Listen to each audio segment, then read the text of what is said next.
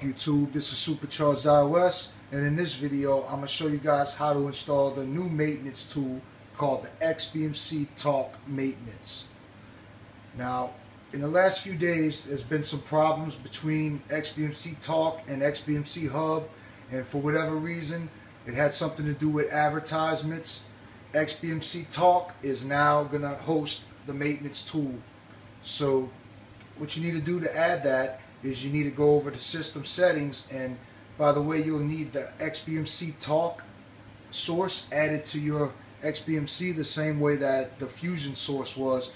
So I'll put a link to the video to show you guys how to install XBMC talk to your XBMC and then you'll be ready to go ahead and add the repo that you'll need to get the new XBMC talk maintenance tool alright so you go to system settings and then you go to add-ons.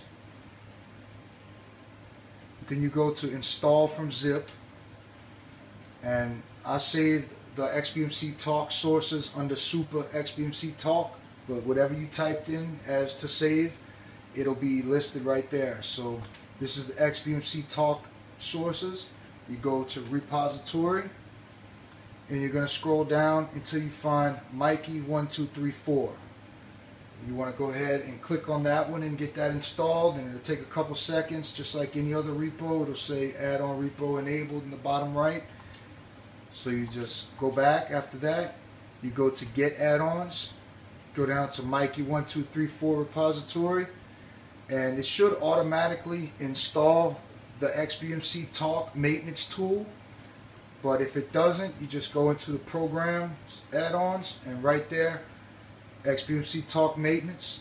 And now once you launch, once you get that installed, you'll be ready to just go back all the way to your program section and you can go ahead into it and program add-ons and you'll find it XBMC Talk Maintenance. Now when you first launch it for the first time, it's going to give you a pop-up ad advertisement showing you what the pop-up ads are going to look like in the future. It's just going to be one very brief pop-up ad and you can just go back to whatever it is you're doing. It's not really a big deal. So this is the new maintenance tool. I'll go ahead and launch it and show you. It works exactly the same as the XBMC Hub maintenance tool. It just has a different name. So you go into maintenance. You go in and I'll go ahead and delete my cache. Give you a little demo. That's it. All done. Simple as that. Alright, this is Supercharged iOS.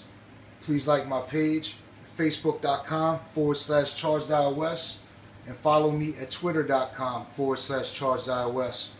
I hope you guys found this video pretty helpful. See you guys in the next one. Peace.